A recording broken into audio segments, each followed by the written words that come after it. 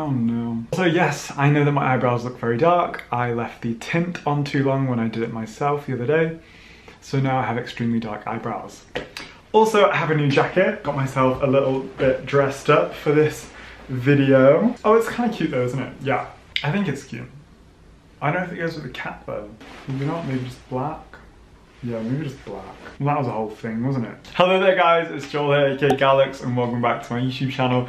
Now in last week's video, I did say that I would be doing the best trends of 2020, but I've already done a video like that, and to be fair, I already did a video that's kind of like the last one as well. I just wanted to complain and rant a little bit last week. So for this video, I'm gonna be telling you what trends I think are gonna be big this year, or what trends should be big this year, because I think that's a lot more helpful to everyone. It's a lot more helpful to me to focus on things going forward and not things in the past. If you are new the channel, don't forget to hit that subscribe button and hit the bell for notifications so that you know when I bring out a new video. And follow me over on Instagram and Twitter as well as at Gallucks on both. Uh, I'm plugging my Twitter now because I'm really feeling myself on Twitter. Like, I've done some funny things lately, so. Um, the list. So, now that my promo section is over, um, let's focus on trends of 2021.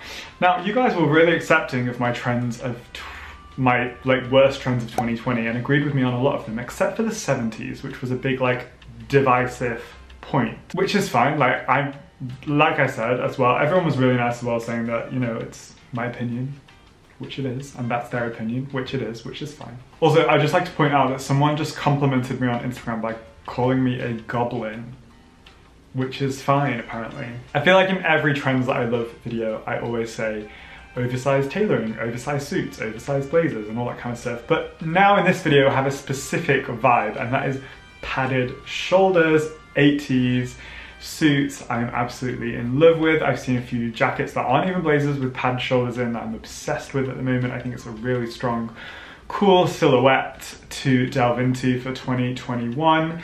Uh, it's powerful, it's strong, it's exhilarating even. Look at me and my adjectives. You know, you could do it in black, you could do it in white, you could do it in like a powder blue or a pastel. I think that would be really, really cute. The oversized blazer with the shoulders, um, you don't have to match the trousers either. Could, they could just be separate. So you could do, I know in summer, out of the past few summers, I've done an oversized blazer with a pair of shorts I absolutely love. Um, obviously, girls do that look more often. Sometimes they wear like cycling shorts and stuff like that. I wish they made like a pair of cycling shorts that would you know, not display my whole package every time that I wore them, um, because I probably would rock them with a blazer at some point. Um, but I do love that oversized 80s style blazer at the moment. I think it's going to be really cool for 2021. And so versatile as well, literally goes with everything. People might, like, I remember the first time I wore, my, the second time I went to Coachella, I wore a green misbehaved blazer. I'm to put a picture here. Um, and I was with my friend Drew and he was like, you're to wear a blazer to Coachella? And I was like, yeah, why not? Like, is that not normal? It was not normal. People did not wear blazers to Coachellas to Coachellas. Um, but I had a great time and I loved it. And I think now people would wear blazers to Coachella, honestly, because now blazers are more of a thing. I guess I was just ahead of the time, which is why you're watching my trend video on YouTube, because forecast, baby. My next trend is face masks. Obviously, the pandemic is still going on. We're all like, oh, it'll be over by next year. No, it's still here.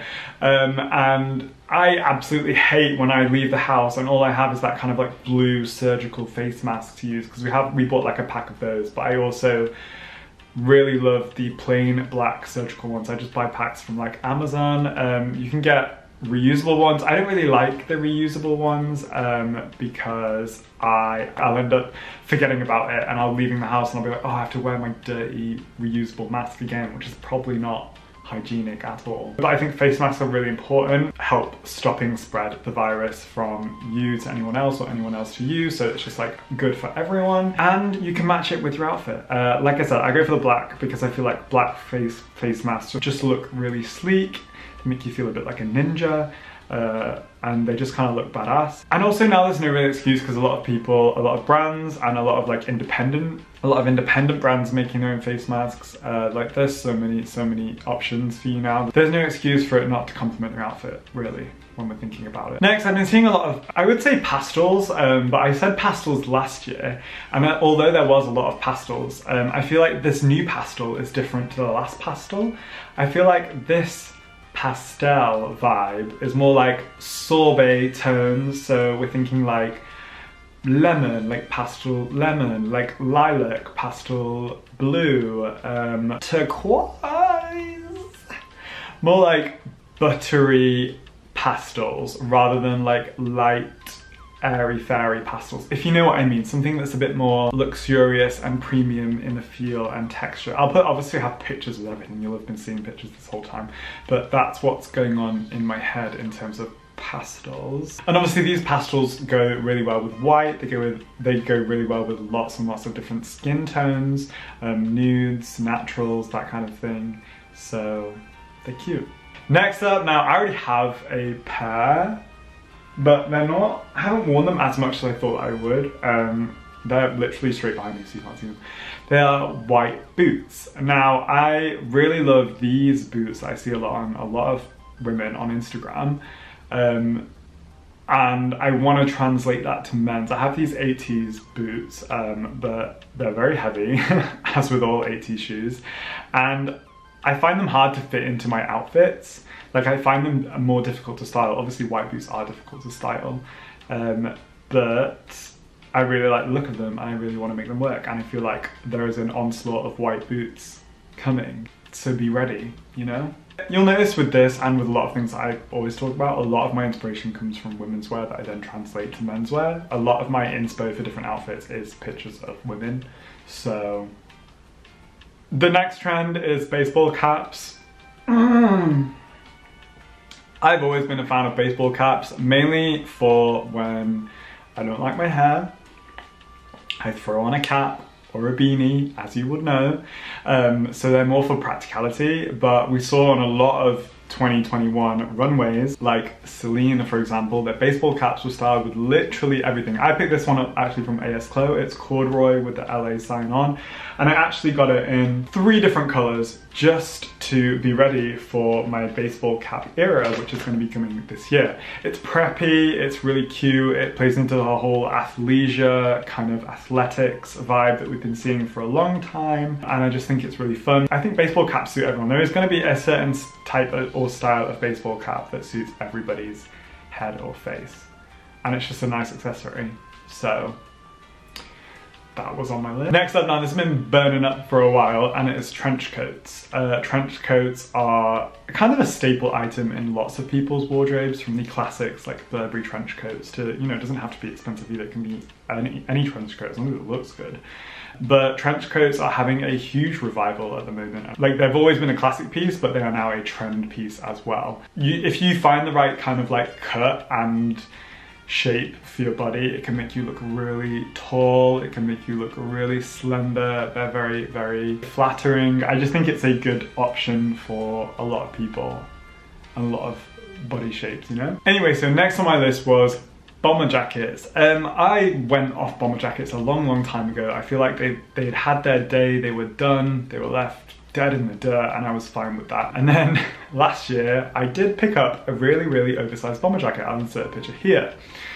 And then I just loved like the vibe of it. I liked how ridiculously large it was and how oversized it was. Um, and I was like, it's always good to have a bomber jacket in your wardrobe, like just in case. And then uh, Mr. Raf does his show for Prada last weekend and I was shook. We saw the exact same similar oversized bomber jackets. The show felt more Raf than it did Prada, but I'm okay with that as well, I don't mind.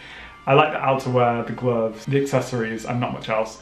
Um, but the outerwear was on point and we saw even more like oversized, colorful, fun bomber jackets. So I think the revival of bomber jackets is on the up.